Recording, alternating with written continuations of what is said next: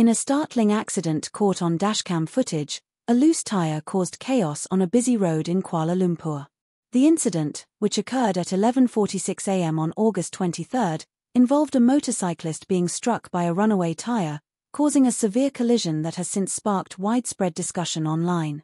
The footage, initially shared on the Facebook group Info Berita Semasa, shows the terrifying moment when a tire, already in motion, bounced off the curb and headed straight towards two motorcyclists riding in the leftmost lane.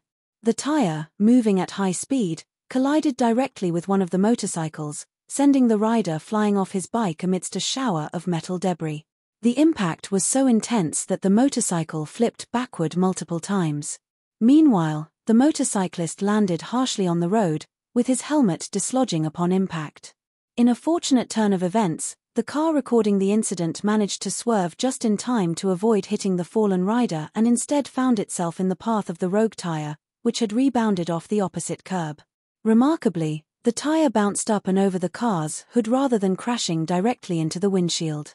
The car's driver immediately slowed down and pulled over to offer assistance. Subsequent reports from Kosmo revealed that the motorcyclist, a 55 year old man, had initially suffered serious injuries, particularly to his head. However, further updates confirmed that he escaped with only minor injuries. Witnesses and the car driver, who was unharmed, aided the motorcyclist, moving him to the roadside and helping retrieve his spectacles lost during the crash. The fact that the motorcyclist repeatedly asked for his glasses, even after they were returned to him, suggests he may have experienced a concussion from the impact.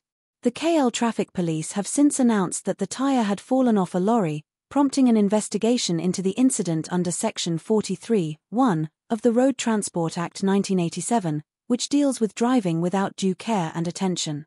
This law aims to ensure all drivers maintain a standard of responsibility to prevent endangering others on the road.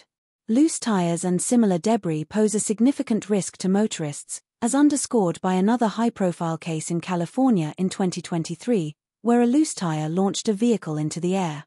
The driver in that incident, too, was lucky to escape with only minor injuries. Accidents like this highlight the importance of regular vehicle maintenance and road safety awareness. For our viewers, what are your thoughts on this incident? Have you ever witnessed or experienced anything similar? Please share your experiences and thoughts in the comments section below.